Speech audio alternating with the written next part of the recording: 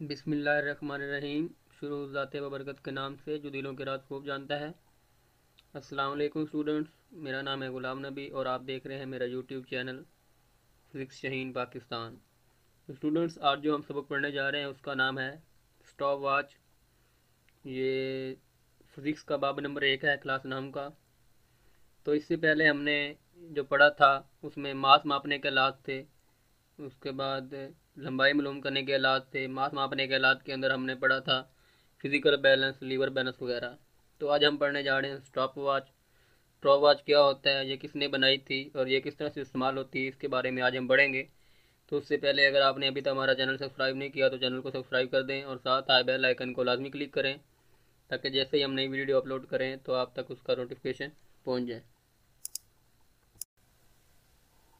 तो जी, ये stop watch जो है, वो वक़्त के किसी भी वक्फे की पैमाइश के लिए इस्तेमाल की जाती है। ये एक तरह से एक घड़ी की किस्म है। तो इसकी मदद से हम वक़्त के जो वक्फा है, वक़्त का, उसको बड़े अच्छे तरीके से उसकी पैमाइश कर सकते हैं। उसको बता सकते हैं कि वक़्त इतना है। और इसका दूसरा नाम जो है वो क्रोनोमीटर है। ज़्यादातर इसको स्टाफ वाच कहा जाता है। कभी कभार कहीं आ जाए क्रोनोमीटर तो फिर आपको पता होना चाहिए कि ये स्टाफ वाच का दूसरा नाम है। तो इसको एक स्वीडन के घड़ी साल से जिनका नाम था लोइस बर्थ होड, उन्होंने इसको ईजाद किया था, बनाया था। तो इसके साथ एक स्टार्ट बटन होता है और एक रुकने वाला बटन होता है। यानी दो बटन इस पर लगे होते हैं, एक होता है स्टार्ट बटन और दूसरा होता है रुकने वाला बटन जिससे इसको रोका जाता है। और स्टार्ट बटन जिससे इसको शुरू किया जाता, चलाया जाता है।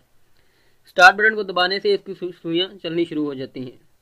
जबकि रोकने वाले बटन को दबाने से इसकी सुइयाँ साकन हालत में आ जाती हैं, यानी रुक जाती हैं। जो इसके हिस्से कितने होते हैं? कितने कितने चीज़ों पे ये मुश्तमिल होती है। तो पहला इसका जो है वो चेहरा है या सामने वाला हिस्सा आप इसको कह सकते हैं। और ये वो जगह होती है जहाँ पे डाटा मतलब हमको नंबर नज़र आ रहे होते हैं, लिखे हुए। जो ये नंबर है, ये एनालॉग की शक्ल में हो सकते हैं या डिजिटल में होते हैं, दोनों तरह से होते हैं। और ये हज़ारों या सौ के वक्फों पर मुश्तमिल होते हैं, यानी इनके दरमियान सौ का वक्फा होता है। एनालॉग हाथ की उंगली की तरह होते हैं, जबकि डिजिटल अदाद की शक्ल में होते हैं। जो एनालॉग नंबर लगे होंगे वो जैसे आपकी हाथ की उंगली होती है तो उस तरह से होंगे, जो कि डिजिटल जो है हमारे पास नंबर होंगे, एक, दो, तीन, चार, पाँच छः सात, इस तरह से। तो दूसरा इसका हिस्सा जो है वो काम करने वाले बटन है, जो दो बटन मैंने आपको बताए थे। यानी एक से स्टार्ट होती है, दूसरे से ये रुक जाती है, पहले से चलती है, दूसरे से रुकती है। तो इन बटन की मदद से घड़ी को कंट्रोल किया जाता है। अब आगे इसकी दो किस्में हैं। एक है हमारे पास मैकेनिकल स्टाफ वॉच और दूसरी है हमारे पास डिजिटल स्टाफ वॉच तो आइए देखते हैं इनके बारे में कि ये क्या होती हैं और किस तरह से काम करती हैं। तो मैकेनिकल स्टॉप वॉच जो है, वो हमारे पास वक़्त के ज़ीरो शेयर या एक सेकंड के वक्त तक ठीक तरह से पमैश कर सकती है। ये एक नाप पर मुश्तमिल होती है जिसकी मदद से स्प्रिंग को इकट्ठा किया जाता है।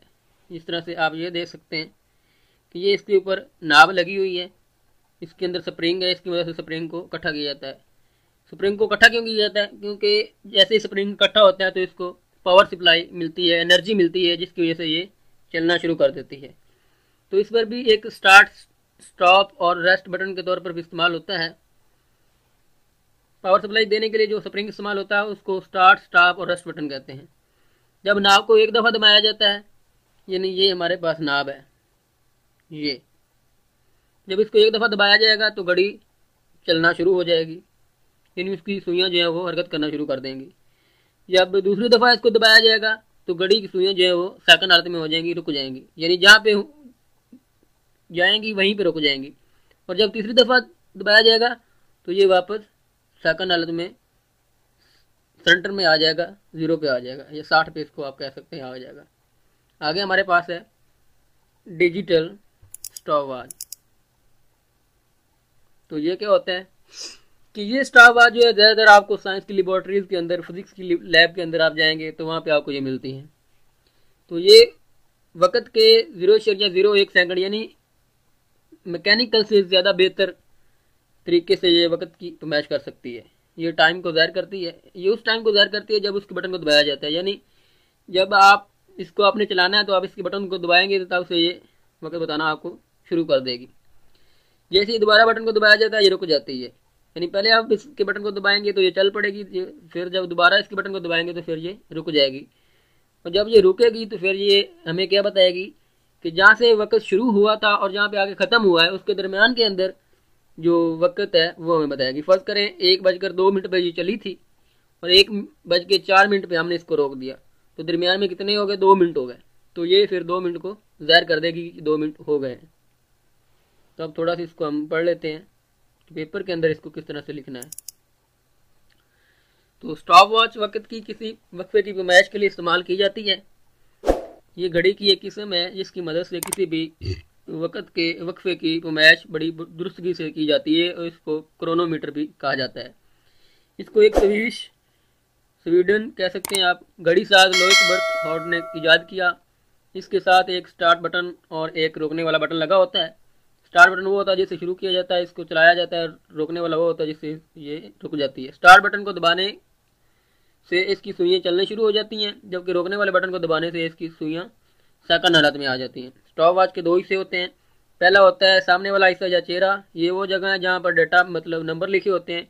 ये एनालॉग और डिजिटल में तकसीम होते हैं। ये हज़ारों या सौ वक्फों पर मुश्तमिल होते हैं और एनालॉग हाथ की उंगली की तरह होते हैं, जबकि डिजिटल अदाद की शक्ल में होते हैं, नंबर की शक्ल में होते हैं। दूसरा इसका हिस्सा है काम करने वाले बटन। इन बटन की मदद से घड़ी को कंट्रोल किया जाता है और स्टॉप वॉच की दो एग्ज़ाम होती हैं। नंबर एक हमारे पास मैकेनिकल स्टॉप वॉच और दूसरी नंबर हमारे पास डिजिटल स्टॉप वॉच तो मैकेनिकल स्टॉप वॉच क्या है? ये वक्त के ज़ीरो शरिया एक सेकंड के वक्फे तक की ठीक तरीके से मैच कर सकती है। ये एक ना पर मुश्तमिल होती है, जिसकी मदद से स्प्रिंग को इकट्ठा किया जाता है। जो कि इसको पावर सप्लाई देने के लिए इस्तेमाल होता है, यानी स्प्रिंग की मदद से इसको पावर सप्लाई दी जाती है एनर्जी दी जाती है, जिससे चलती है। ये स्टार्ट स्टॉप और रेस्ट बटन के तौर पर भी इस्तेमाल होता है, वो स्प्रिंग जो है। जब नाब को एक दफ़ा दबाया जाता है तो घड़ी चलना शुरू हो जाती है, जब दूसरी दफ़ा दबाया जाता है तो घड़ी रुक जाती है और तीसरी दफ़ा दबाने पर ये अपनी असली अलग यानी सिफर पर आ जाती है। और आगे हमारे पास है डिजिटल स्टॉप वॉच ये आमतौर पर लेबॉर्ट्रीज में इस्तेमाल होती है। ये वक्त के ज़ीरो शरिया ज़ीरो एक सेकंड तक दुरुस्त मैच कर सकती है। ये उस टाइम को ज़ाहिर करती है जब इसके बटन को दबाया जाता है। जैसे ही दोबारा बटन को दबाया जाता है तो ये रुक जाती है और गुजरे हुए वक्त के दौरान को ज़ाहिर करती है। तो ये था आज का हमारा लेक्चर उम्मीद है आपको वीडियो पसंद आई होगी। अगर वीडियो पसंद आई है तो वीडियो को लाइक कर दें। चैनल को सब्सक्राइब नहीं किया तो चैनल को सब्सक्राइब कर दें और अपने दोस्तों के साथ भी इसको शेयर करें ताकि वो भी इससे फ़ायदा उठा सकें। तो नेक्स्ट वीडियो के लिए अल्लाह हाफिज़। मिलते हैं नेक्स्ट पाकिस्तान जिंदाबाद। All right.